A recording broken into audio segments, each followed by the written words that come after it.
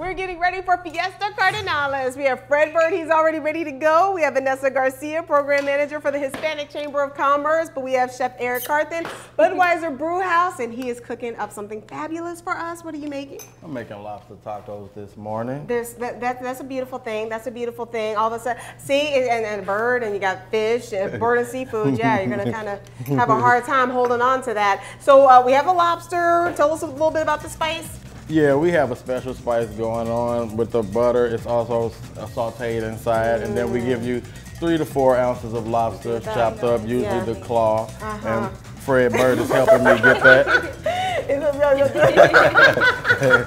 it is a beautiful thing. And tell me a little bit of, and I, I was talking to him before the show.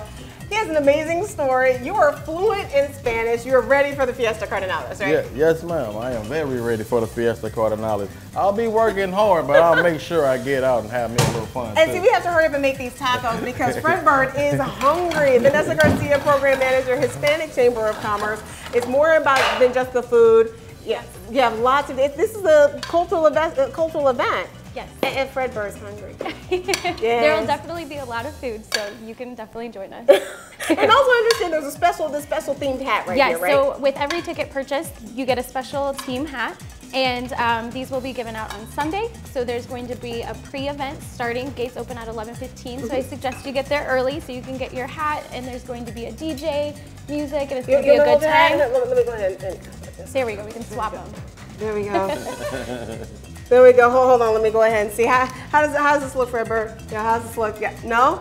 No. Oh, thank you. Fred Bird's going to be there. He's going to be having a great time. But you yes. guys are also raising scholarship money yes. for young Hispanic and Latino Cardinals fans, right? Exactly. So the tickets go to a good cause. So mm -hmm. part of the proceeds are going to go to the Hispanic um, education and cultural and scholarships. Mm -hmm. um, and it's going to be a good time. There's going to be music and food. So there's going to be a full schedule on Sunday. And, and Chef Carthen, you were just telling me that this just fits in perfectly with just every day that you yes, work at Ballpark Village. You yes, just love the diversity there. Oh, I love the diversity. Like the atmosphere is awesome. Being around the Cardinals, Fred Bird, of course. See? Uh, number one man.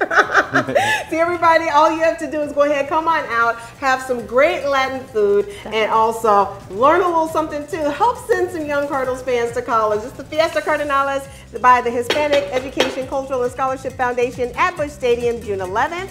314-664-4432. Go to cardinals.com slash theme for your tickets. Somebody please feed Fred Bird. He's hungry here on the 9 a.m. show.